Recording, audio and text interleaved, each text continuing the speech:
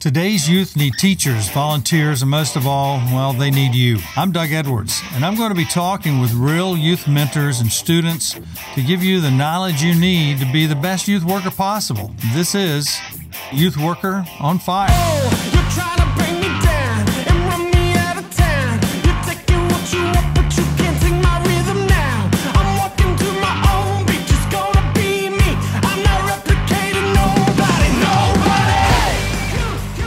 So it's no mystery that I'm bivocational, not even bivocational. Basically, I get to do the podcast as a volunteer thing.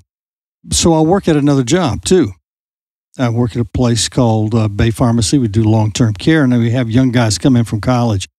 So we got this one guy who, a man genius, a young man genius, and he comes in, but he loves to tell jokes and stuff. He goes to a conservative Christian uh, university up north so he comes in, he says, Doug, are there any nuns in the Bible? Now, for you Catholic people, I hope you don't re- you realize this is a joke. And, and uh, he's handing this to me, and I'm going, none that I know of, thinking I was really being funny. He said, well, Of course there is. He said, Jacob was the son of Nun. Ha ha ha. So we got a good chuckle out of that.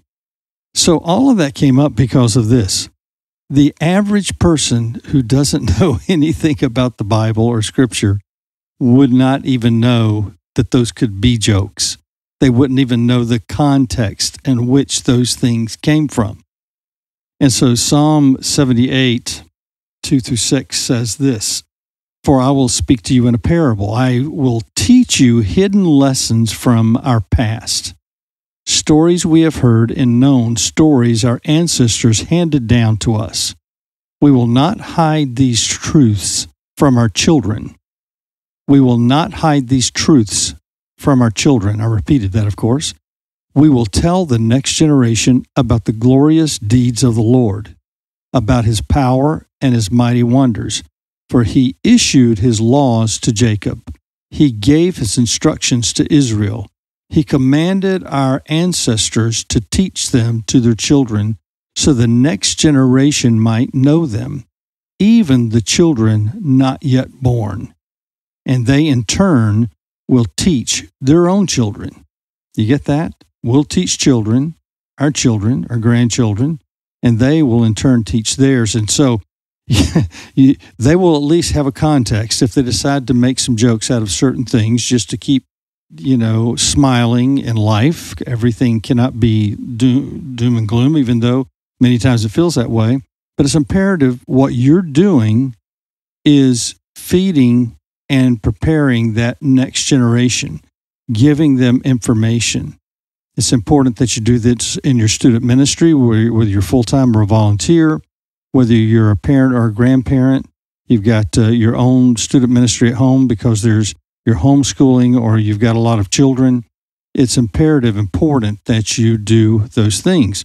Thought you would like that scripture today, and hopefully we got a little bit of a chuckle out of you. So don't forget the importance of what you're doing. Our students, this next generation, does not know the context in which the church is coming from. I heard on a show out of Canada. Uh, it was a fun show. It's a, the, the storage collectors. They, they, they go in and they salvage, salvage collectors. And they go in and salvage stuff from buildings, things that are valuable, things that other people will buy, movies for movie sets and homes and different things like that and they went into a church and they the church is going to turn the place into a a brewery and a a restaurant. And so they said, "Listen, we we can't use all this. Can you sell all these pews for us? You know, we're going to keep some of the stained glass, but you can take some of the stained glass as well." And it's a beautiful old church. And uh, he said, "Yes." And one of the comments he made was that there's going to be tens of thousands of churches in Canada that are going to be closing. So there's going to be lots of things like this that we're going to be salvaging and selling. Now, I don't know where he was getting his information. We do know old churches, old established churches with old points of views and not reaching the next generation have closed their doors in many places throughout the world.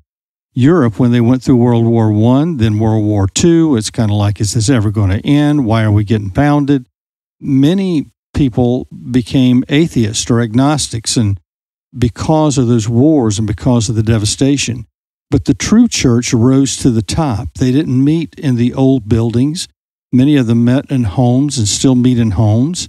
Uh, there was a place in England where they actually, uh, in London, one of my students had been there and wrote me back and said that I, think it was called uh, Old Joe's Church or Joe's Church or something like that, something uh, strange like that. And they did actually meet in a bar. They cleaned the whole thing up on like a, a pub on a Saturday night, and then they would have services there. They've done some things like that in the United States. I'm not telling you to do that. I'm not telling you that it's right because you may hate that idea. I know people who do.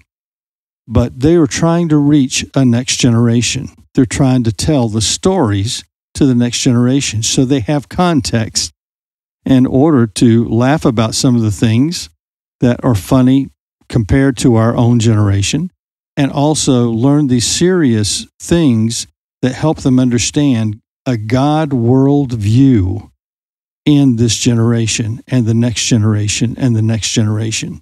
It's all about teaching them the truth about the Bible. Okay, guys, we'll see you next time. Youth Worker on Fire. We'll see you. You've been listening to the Youth Worker on Fire podcast. If you like what you hear, please subscribe and tell your friends. Also, leave a comment and tell us what you think. Stay tuned for more informative episodes.